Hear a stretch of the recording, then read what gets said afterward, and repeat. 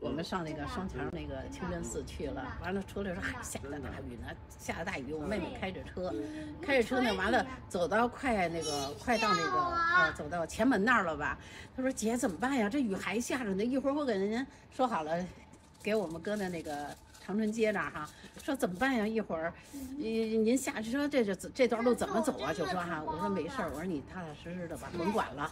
我说一会儿雨停能停，我就这么一说哈，结果这开到宣武门那儿了，雨就停了，我太神奇了。太是吧？就停了后来呢，我我我妹说呀，姐，真像您说的。我说怎么样？我说对了吧？真像您说的，真停了。我说对，我说我跟你说，我我就是我就是上天护佑为主的护佑着我呢。我说的你看看啊，我这一辈子得至少四十年，我记事儿了四十年了，至少我就是这样。哦，只要说我一出去，还一会儿我念个清真言，一会儿就停，完了这时候我再出门儿，真的。真的，嗯，这么就是为主的护佑着我呢，对，真是这样，嗯，所以有些东西不信不行。不信不行，嗯真的，对了。因为确实是得得做做个善良的人，真是。嗯